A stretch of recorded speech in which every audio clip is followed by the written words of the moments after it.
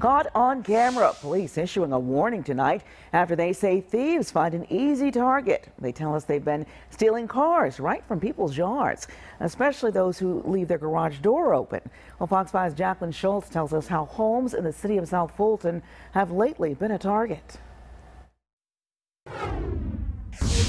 A lot of homeowners like to leave their garage doors open, think their neighborhood is safe, but police agencies everywhere say no matter where you live, thieves could target you. Yo, got you, man.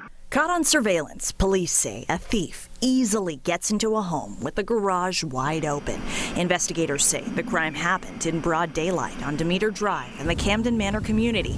Police say a man walked in the garage and rifled through the victim's car.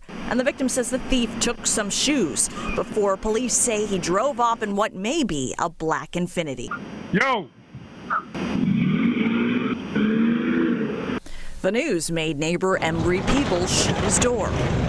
I had no idea, like I said. That's my neighbor. Days before, on Aussie View, in the Oakley Township subdivision, police say the garage was left open again when a black Infiniti pulled up to a home and a thief went in.